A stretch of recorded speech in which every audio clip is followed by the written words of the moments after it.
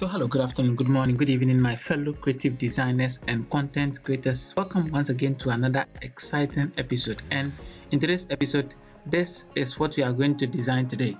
Let me show you the preview quickly. Let me show you the preview quickly.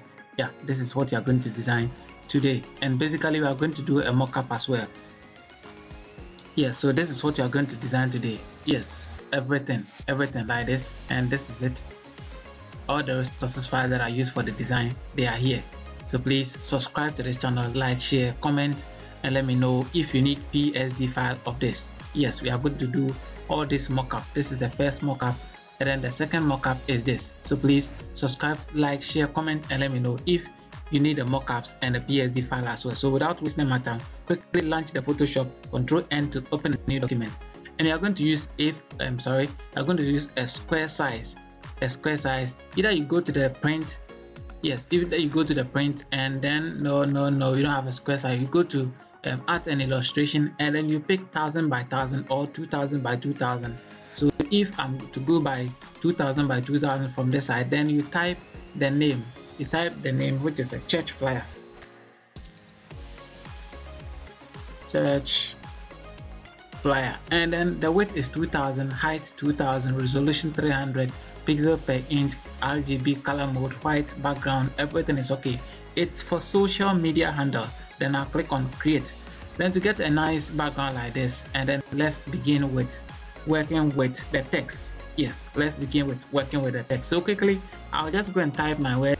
Alright so quickly let me just go and bring the logo the church name and then the logo. I'll drag it and then release it in Photoshop nicely like that and push it up like this. And I think this is okay. Con then press enter control a and then let me center it and then it falls at the center. So this control g and then put it in a group and call it logo. All right then let me go and quickly set my guide go to view go to guide and go to new guide layout and then set here to 6 by 6 and make sure that we don't go overboard. Yes we make sure we don't go overboard. So this should go up a bit. And then t on the keyboard to activate the text to if it's not coming. Hit here to activate the text to hit here and then write the text over there. And then I'll go and type my young. Yes the young. I use a font called Akira expanded. So let me go quickly and then go and check for my Akira expanded font. It's here. Then I'll pick it nicely. And then control T and then scale it up a bit like this yes scale it up. And then we said we are going to make sure it doesn't go overboard. So this is going to be our center. Yes this is going to be our center. Then press enter hold alt and then drag it to the side. And then you just type the young ministers. Ministers and then drag it again and then type the retreat. All right so just type the retreat and this is okay this is okay this is okay. No we type inside the logo and we need to get it out. We need to get it out. No no no no no no. Okay let me put this side and then add new layer and then open it and then go and pull them out. Go and pull them out. So drag it up and then good. So the logo must be separately and then this theme 2 must be separated. And then we set a gradient overlay to it. Let's go right click this side and then see go to blending option and let's see a gradient overlay. So gradient overlay and boom we have it this way. Let's change it because i use a different gradient overlay for it and i think it's here. Yeah it's here it's here it's here it's here it's here it's here. So we need to change this side from linear to um to this um linear rather. And then this must come to reverse. And then I think it's okay so click on OK and then right click it and then what? Copy layer style. Then come and pick the young and then right click and then you paste layer style. Come and pick ministers. Right click and then you paste layer style. In other words you have pasted all the gradient overlay on each of the tests. Yes on each of the tests. And then you pick a rectangle to draw a nice rectangle beneath this side good. And then let's push this to this side. And this is awesome. This is awesome. This is awesome. Let's change the um, um color. Let's change the color to something like this. And I think that's exactly what we used. And then we are going to type the test on it. And um, let's go and check it. It was and uh, a new kind of fire. So T on the keyboard hit here. And then let's type a new kind of fire. Uh, boom then we change it to color white. Change it to color white. And then we push. Uh, okay okay okay okay okay okay. So you center it with the test. Boom.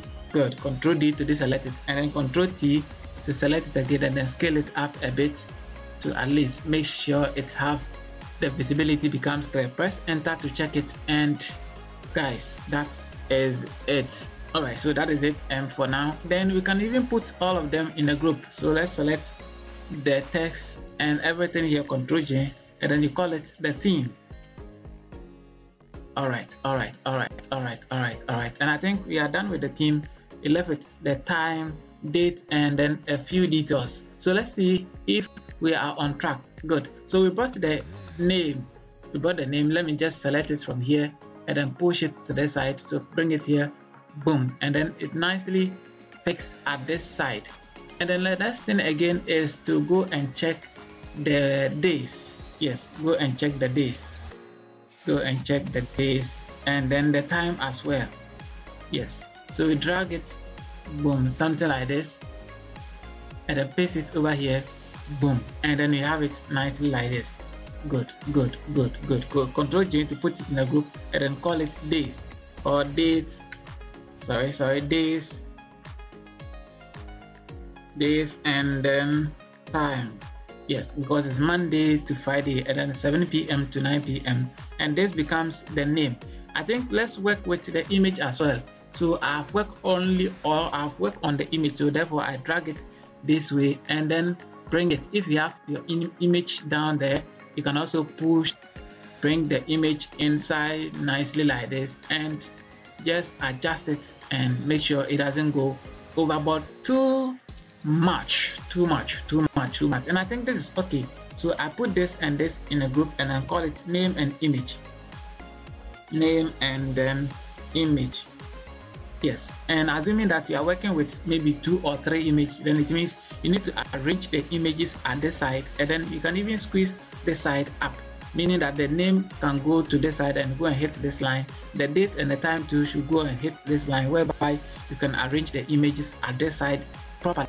Yes properly properly properly properly. Then let's go and see the next thing again is the location. Yeah is the location. So i'll close this location up and then go and open this and this which forms the original location.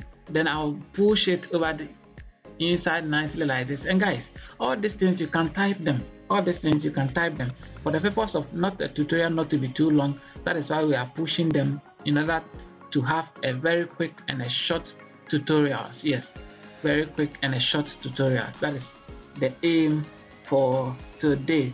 And then the font i'm using for this monday to friday is a Balega font. Yes, it's a Balega font. And then the time too is also the same Balega font. Yes, and in the background, I created a rectangle and I picked a color from the dress of the man of God. Yes, I picked a color for the dress of the man of God. So if I have to show you the hex code, yes, if I'm to show you the hex code is D1EF, sorry, D1E E6FF. D1E6FF. That is the hex code for these rectangles and then this one I pick a color also very closer to it that's why we are able to get the, the colors from. Yes and then we can put this and this in a group and then call it the location or venue. Yes this becomes the venue yes which is Awoshi Anya Market Sabat City. That is the location. And then the location icon is also there. Then the next thing is that we are going to pick this um, um, and also live location as well. Facebook live and then um, a live icon yes we are going to pick them. We are going to pick them. So let's see. It's beneath here. So this select this select this select this and then select this. So the beneath one i created a rectangle and then i gave it a color before i type the details on it. Yes before I type the details on it. So you can also do same. You can also do same you can also control G to put it in a group and then I call it live location. Or you can even call it the social media handles. Yes you can call it the social media handles. And then you center it this way. Good good good good good good good. Then make sure everything is in line. Everything is in line. Yeah everything is in line. Control d to deselect it. And then let's see the theme must go up a bit yes the team must go up a bit. So use the arrow key to push them up a bit and then you get something nice. And then the logo too must go up a bit. And guys just adjust it adjust it. Name and images and this is okay. So date and time that is it nicely like this.